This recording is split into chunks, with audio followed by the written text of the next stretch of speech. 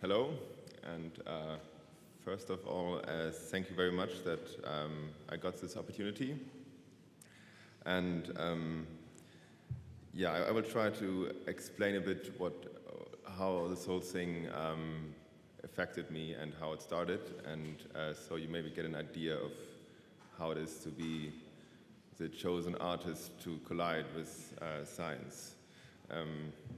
It was. It started um, when I saw the um, uh, email, um, the open call, and I had like one day left uh, before the deadline. So I just uh, okay, I have no chance to get it, but whatever, I just have to try because I, I always dreamed of, of, of, going there. And so I just uh, um, did this five minute video where I just explained why I why I want to go there. And um, somehow they um, selected me to come over. And that was uh, a big surprise for me. And um, then I started about actually, okay, what do I actually expect from, from going there? And uh, yeah, like, and uh, it's um, actually not so easy what to expect. Like, I, I was knowing that I'm definitely I want to go there because I was dreaming of that place since so long. Actually, I'm reading science magazines and, and uh, thinking about particle physics was always a big inspiration for me. And uh, of course, huge technology is also something that uh, makes me feel happy. Like if I look at big machines, they make me feel happy. And uh, so, and speaking to scientists and, and also I was knowing that that is a thing that I like. So that seemed to me like to be the best place for me to be. And um, but what? How do you collide art and science? Um, it's just being interested at something is not already like colliding it. Um, and uh, so I I went there for three days um, in January and um, uh, uh, Ariane Koek um, gave, gave us a great tour together with um, Horst and Matthew from us. And um, yeah, that was just three amazing days. Like I, I, I got in, I got underground to the um, huge machines and uh, saw a couple of, of labs overground. That was just I don't know, I, I can't, I couldn't believe it. And I, I, spoke with scientists that told me about this hidden world somewhere, and I was just starting to dream, and I, I couldn't fall asleep at night because I was so amazed by what I saw and what I, I heard. And then uh, two months later, I came back for um, uh, staying for two months. And then I had everyday meetings with uh, scientists, and uh, um, like once or twice a week, I was um, having look at, at a, another experiment. Like there are not there's, there's, there are not only these huge experiments, there are also smaller experiments overground, and just endless. And um, it's yeah, and yeah. So that's just to make you understand maybe how it's all started.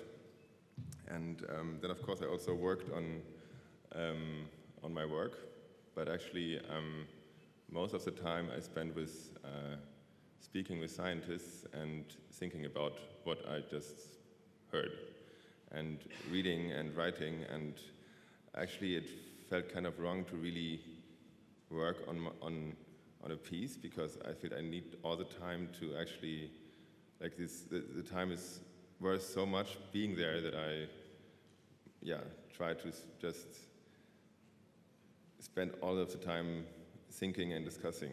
And um, but yeah, at, at um, OK here, there's um, now a work exhibited that I um, proposed in the uh, uh, proposal for the um, open call, and then I worked on it while I was there, and uh, realized it um, in the last months, and now it's hanging here, and it's it's maybe one example of my way of, of um, doing art that is it's not scientific. It's not art and science at the same time.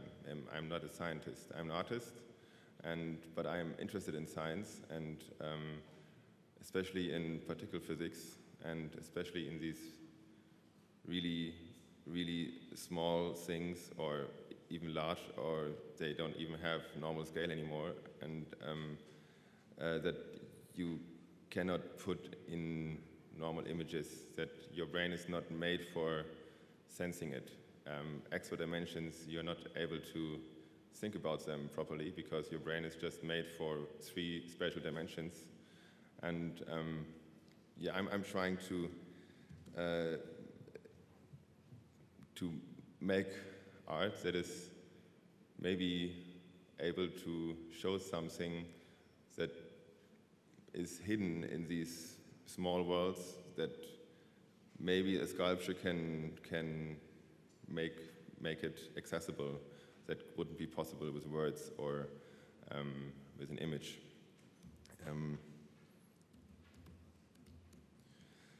yeah, um, there are particular two works that I want to show, like um, the one that I installed here at at, um, at OK, but first another one. It's a it's it's not yet realized. Like most of the works that I worked on there are not realized. Maybe most of them are not realizable. Like most, that's I don't know. Maybe a lot of other artists know that's um, the problem. Most things you think of are just out of like they're too expensive or it's not legal or uh, it's just not possible or uh, it would be harmful for someone or for yourself.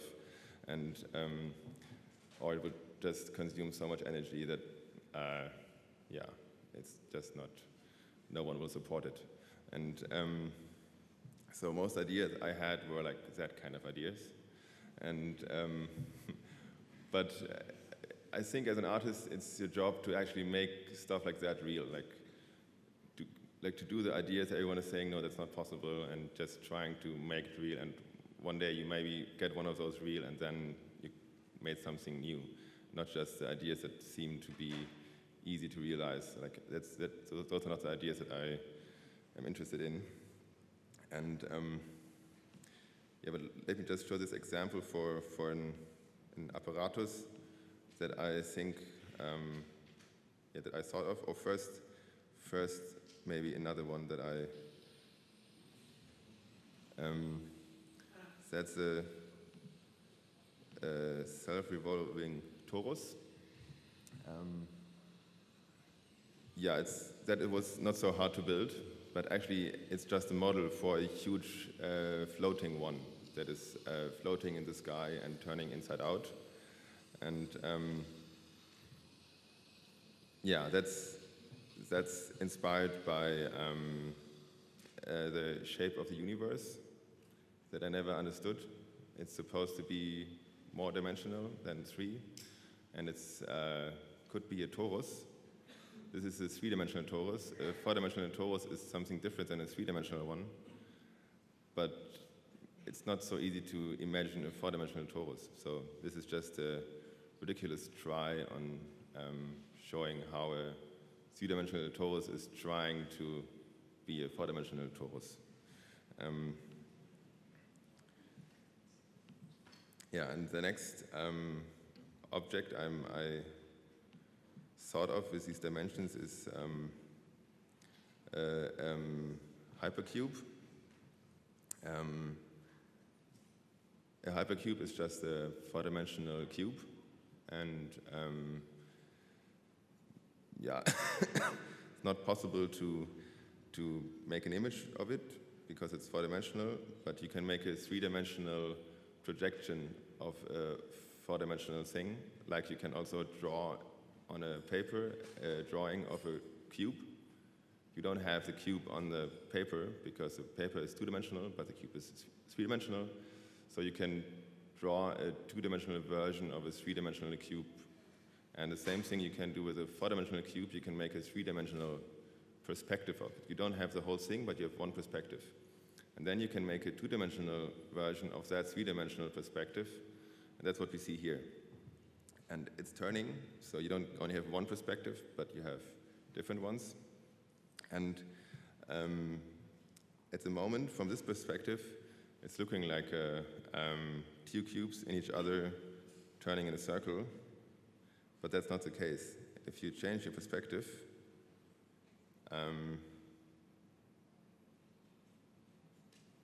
it's something different. It's uh, two. It's a four-dimensional torus a cube turning inside out, and um, I don't know if you can see it. Um, and if I turn it to a special angle,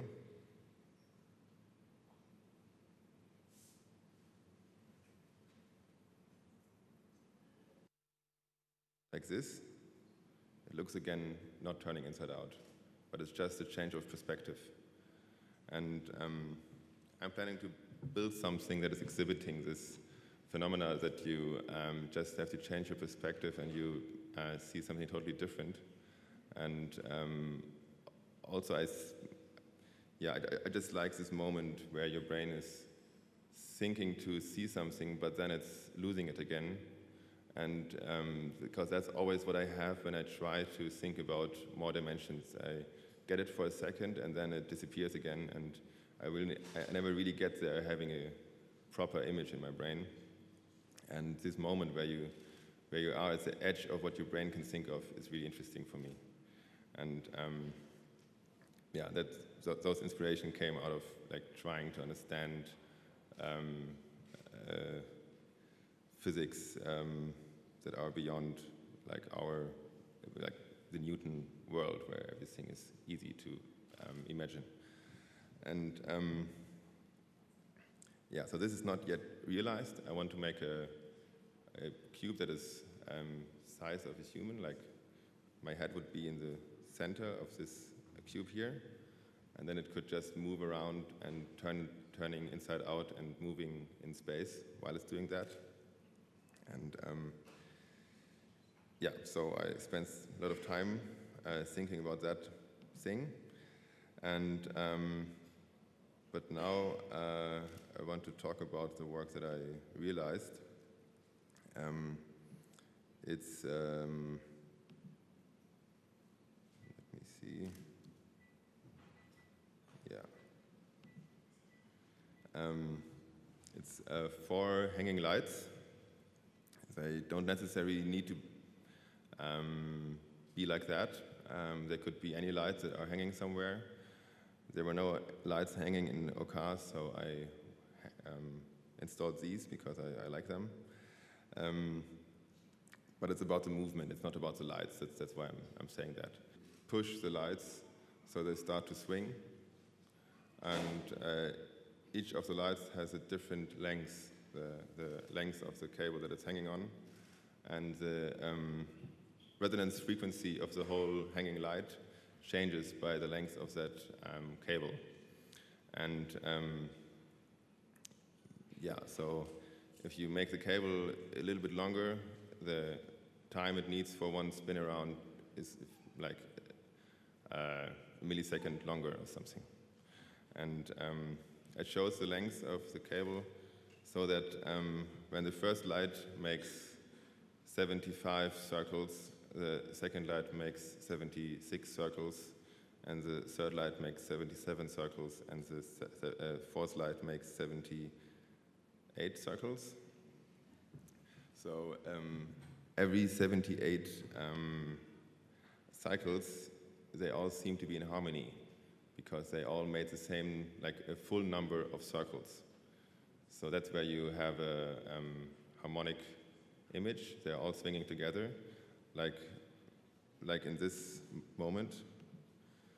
And, um, but most of the time they're not in sync because in between after uh, 20 cycles they're all like a bit off and forming a chaos. And um, not real chaos, but it seems to be chaos because you're not able to compute these four different frequencies and put it back together and see that they're just slightly off uh, it just looks like that, that, they're all in chaos. And this is again this moment where um, you're trying to understand the movement and you think you understand it. Here you might think they're all connected with some, some elastic thing, so that's why they form this wave, but they're not connected at all. It's just the length of the cables that make them seem to be connected. Um, so if it would be, if one, centimeter, one cable would be a little bit longer, the whole thing would just look chaotic all the time. And, um, and so for, for me, it's about this moment between seeing something, understanding it, and then losing it again and not understanding it. And I think there's some, some part in your eye that is doing this. It's not a, um, a thing that happens in your um, Bewusstsein. It's more a, a subconscious um, thing that your eye is always connecting two things that move like this. You think they're one thing, and if it's moved like this, you think it's different.